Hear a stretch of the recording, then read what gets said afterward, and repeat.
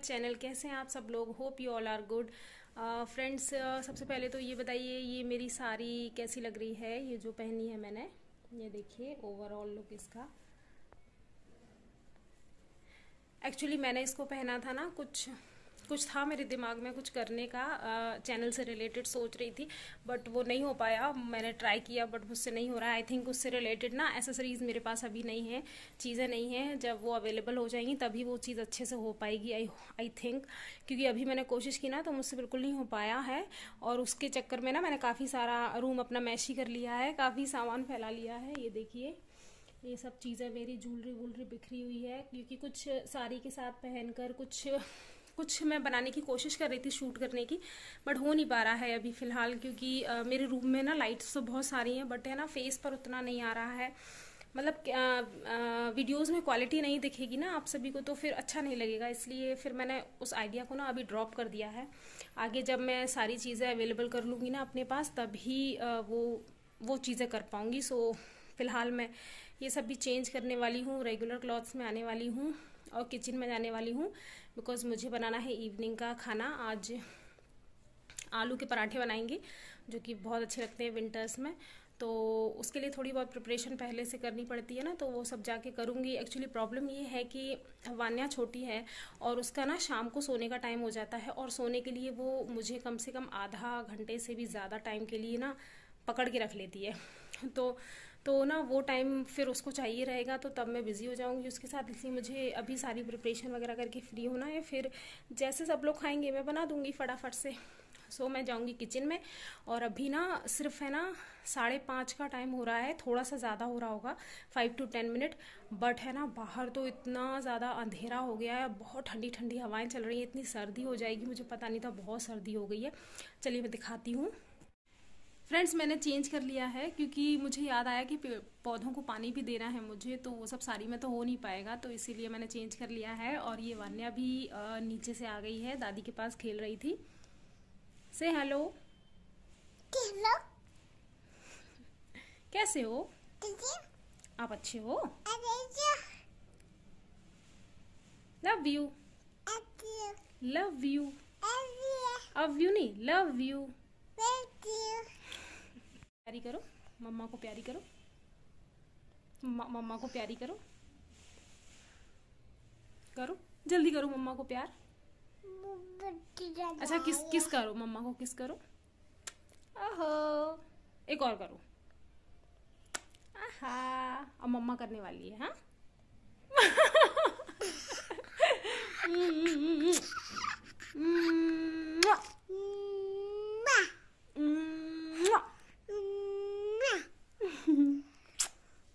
क्या ना चलो हम चलते हैं।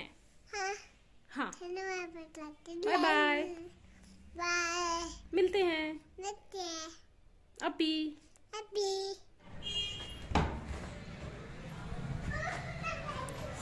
ये देखिए बाहर का नज़ारा है कुछ। कितना सारा अंधेरा हो गया है। बहुत बहुत सर्दी हो गई है ना। और ये भी चली आई है मेरे साथ मान्या। सो मैं फटाफट पेड़ों में पानी दे देती हूँ, उसके बाद मिलती हूँ आप सबसे किचन में। सो मैं किचन में आ गई हूँ। सबसे पहले हम आलू रख देते हैं बॉयल होने के लिए, बाकी प्रोसेस बाद में करेंगे तो चलिए फिर।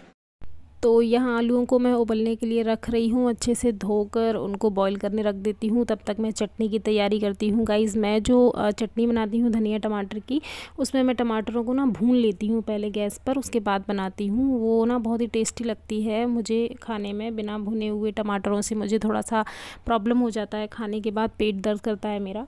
सो इसीलिए मैं भून कर ही डालती हूँ। अच्छी लगती है चटनी भी और मुझे मुझे प्रॉब्लम भी नहीं होता है। तो बस यहाँ पर थोड़ी देर बाद अभी मैं टमाटरों को रखे देती हूँ भुनने के लिए और अभी रख देती हूँ जब तक आलू भी बॉईल होने के लिए। साथ ही साथ चटनी की तैयारी भी हो जाएगी, दोनों ही चीज़ें। तो यहाँ मैंने रख दिए हैं टमाटर और ये बाकी सब चीज़ें काट कर डाल दी हैं। टमाटर भी भुन गए थे तो वो भी डाल दिया है। जैसे हम चटनी बनाते हैं रेगुलर वैसे बस बना लूँगी मैं मिक्सर में पीस कर यहाँ पर। तो बस चटनी मेरी बनकर एकदम तैयार हो गई है। अब करती हूँ आगे की तैयारी। ये सब चीज़ें कट कर लेती हूँ। तब तब तक आलू भी मेरे बॉईल हो जाएँगे तो उनको भी मैं छिलका वगैरह निकाल के मैश कर दूँगी। और यहाँ बीच बीच में वान्या से बातें करनी पड़ रही हैं ना, वो देखिए अपना खेलती रहती है वो। सो यहाँ उससे बातें हो रही हैं। साथ में आटा भी लगा लेती हूँ। धीरे धीरे सारे काम फिनिश होते जाएँगे तो ईज़ी रहेगा आगे के लिए मुझे, क्योंकि फिर अभी वान्या का सोने का टाइम हो जाएगा। तो बस यही सब चीज़ें कर रही हूँ। मैंने आटा निकाल लिया है यहाँ पर तो उसमें बस वही सब चीज़ें डालना है। नमक और अजवाइन और मॉइस्चर के लिए हम थोड़ा सा ऑयल डाल देते हैं क्योंकि ताकि हमारे पराठे जो है वो थोड़े सॉफ्ट बने। तो देखिए मुझे परेशान करने आ गई है। क्या चाहिए? आटा। आटा चाहिए? हाँ। अभी अभी हमने लगाया नहीं है आटा। क्यों चाहिए आपको आटा? आटा चाहिए। नहीं चाहिए। नहीं चाहिए। नहीं चाहिए। नहीं चाहिए। और मैंने इसको ना इसको ये दूसरा वाला वो पहना दिया है स्वेटर बिकॉज़ ये जो ये जो कैप वाला था ना अभी वो कैप निकाल देती है बार बार तो मैंने डायरेक्ट यही पहना दिया कि अब ये नहीं निकलेगा। अब ये नहीं निकलना चाहिए। अभी अब भी आटा नहीं मिलेगा हम जब लगा लेंगे उसके बाद देंगे। तो? अभी जाओ हमको आटा लगाने दो। ठीक है। बाय बाय बाय बाय बस आलू भी मेरे बॉईल हो गए, उन्हें निकाल लेती हूँ मैं और फटाफट से छिलका वगैरह निकाल के बाकी की तैयारी कर लेती हूँ। आटा भी लगा दिया है मैंने और बस आलू भी निकल गए हैं। अब इसमें बाकी सारे जो मसाले कट किए थे ना, धनिया, मिर्ची वगैरह, पराठे बनाने का प्रोसेस वैसे भी सभी को पता है। बस एक थोड़ा सा डिफरेंस ये रहता है कि कुछ लोग जो आलू होते हैं ना, उनको थोड़ा सा तेल में फ्राई कर लेते हैं, जैसे समोसे के लिए करते हैं। मैंने यहाँ वैसे नहीं किया है, दोनों ही तरीके से पराठे बहुत टेस्टी लगते हैं बट मैं वैसे थोड़ा सा कम करती हूँ क्योंकि फिर वो ना पराठे कम और समोसे ज़्यादा लगने लगते हैं। तो वो मैं समोसे में ट्राई करती हूँ वो चीज़। है अभी तो मैं ऐसे ही मसाला मिक्स करके और ये देखिए सारी तैयारी लगा ली है। बस बनाना शुरू करती हूँ और मम्मी पापा को खिलाती हूँ फटाफट से। तो बस यहाँ पर मैं बनाती जा रही हूँ और बनाने के बाद उनकी थालियाँ तैयार करके उनको परोस के दे दूँगी मैं मम्मी पापा ताकि वो लोग भी खा लें खाना। फिर उसके बाद मैं आगे की चीज़ें भी देखूँगी मैं। तो बस मम्मी पापा के लिए यहाँ खाना लगा दिया है, बस उनको दे देती हूँ ताकि वो लोग खा लें और फिर आगे देखती हूँ। बच्चों के साथ में इतनी सारी प्रॉब्लम्स आती है ना, थोड़ा रूम में चलती हूँ, फिर बताती हूँ। अभी ना मैं अपना खाना लेकर आ गई हूँ एट थर्टी हो गया है टाइम हस्बैंड मेरे करीब एक घंटे बाद खाएँगे तो उनके लिए तब बना दूँगी। बच्चों के साथ बहुत प्रॉब्लम आता है, बहुत ज़्यादा। कभी कभी तो मुझे लगता है अपना ये आइडिया ड्रॉप कर देती हूँ मैं ब्लॉगिंग का बिकॉज़ ना बहुत प्रॉब्लम क्रिएट हो जाती है थोड़ी बहुत। उसने ना काफ़ी मतलब बीच में सूसू पॉटी पता नहीं क्या क्या हो जाता है तो वो बंद करके आप जो कर रहे हो पहले वो फिनिश करो बच्चों का देखो। तो बहुत ज़्यादा छोटे बच्चों के साथ स्ट्रगलिंग हो जाता है। और अभी भी देखो मैं रूम में आई हूँ मेरे पीछे ही आती जा रही है। इतनी शैतानी क्यों करती हो? हम्म? क्या हो गया? पे लग गई? ओ यहाँ पे लग गई? कहाँ पे लग गई? दिखाओ। यहाँ पे? पे कहाँ पे? हाथ में? पे लग गई? उंगली में? ओ। पे लग गई? अब ठीक हो गया? हाँ। ठीक हो गया? हाँ। ओके। अब आप मेरे साथ बैठो। आलू का पाठा खाओ। ठीक है। ठीक है। चलो फिर खाते हैं। मैं तो यहाँ ना बस जल्दी जल्दी अपना खाना फिनिश कर लेती हूँ। आई थिंक वान्या भी सोने वाली है। उसका सोने का टाइम हो गया है। उसके बाद मैं उसके पापा जी के लिए बनाऊँगी और किचन वगैरह क्लीन करूँगी। मिलती हूँ आगे आपसे।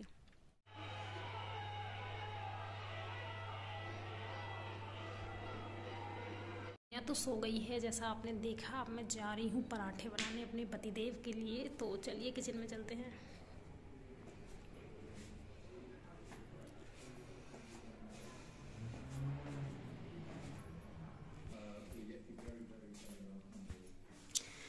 आ गई हूँ। अभी मैं किचन में और बनाती हूँ अपने पतिदेव के लिए परोठे। फटाफट से मैं उनके लिए और बना के उन्हें खिला देती हूँ क्योंकि नौ बजे का टाइम हो गया है, थोड़ा सा ज़्यादा ही हो गया है। फटाफट वो भी खाएँ, उसके बाद मैं सारा क्लीन वगैरह करूँ किचन वगैरह, सारा कुछ। और उसके बाद मैं अपना भी जो है वो देखूँ और फिर आराम करूँ। सारा दिन बहुत ज़्यादा मेहनत वाला हो जाता है बच्चों के साथ। एक सेकेंड भी आराम करने को नहीं मिलता है तो बस अभी तो मुझे पराठे बनाने में नींद भी आ रही है तो मैं फटाफट से बना देती हूँ और उनके उनके लिए परोस के उनको दे देती हूँ। फिर मैं भी रेस्ट करूँगी आराम से। मेरे पतिदेव का पराठा बन गया है तो उनको दे आते हैं हम। किचन वगैरह सब क्लीन हो गई है फ्रेंड्स अब मैं अपने लिए गर्मा गर्म दूध लेने वाली हूँ, एक गिलास तो यहाँ पर मैंने दूध में डाला है गुड़। बहुत अच्छा टेस्टी भी लगता है विंटर्स में और गर्म भी होता है बॉडी के लिए तो अच्छा रहता है। इसीलिए अब मैं इसमें डालूँगी बढ़िया गर्मा गर्म दूध और थोड़ा सा ऐड करूँगी केसर उसमें साथ में, क्योंकि केसर भी बॉडी के लिए गर्म होता है और मैं इसलिए ये सब चीज़ें यूज़ करती हूँ, क्योंकि वान्या अभी फीडिंग करती है तो अगर मुझे सर्दी नहीं लगेगी ना तो उसे भी सर्दी नहीं लगेगी और उसके शरीर में भी मतलब गर्माहट रहेगी बॉडी में उसके। सो इसीलिए ये सब चीज़ें कर लेती हूँ ताकि उसे कोई प्रॉब्लम ना हो विंटर्स में तो बस। फाइनली मैं जा रही हूँ रूम में, दूध अपना लेकर। आज ना बहुत ज़्यादा सर्दी है, बहुत सर्दी लग रही है फ्रेंड्स तो सर्दी की वजह से ना बस ये लग रहा है कि जाकर फटाफट से रज़ाई में बैठ जाओ। मैंने दूध रख दिया है अंदर रूम में भी थोड़ी देर से पीने वाली हूँ बस, और ना बहुत ज़्यादा टायर्ड हो जाता है पूरा दिन भर, शाम तक रात को ये लगता है फटाफट बेड पे जाओ। सो बस मैं अपना ब्लॉग भी यहीं एंड कर देती हूँ फ्रेंड्स वरना वो बहुत लेंदी हो जाएगा ना, इसीलिए। सो बस अगर आपको पसंद आए तो लाइक कीजिए। जो लोग नए हैं, मेरे चैनल को ज़रूर ज़रूर सब्सक्राइब कीजिए। मिलेंगे नेक्स्ट व्लॉग में। तब तक के लिए बाय बाय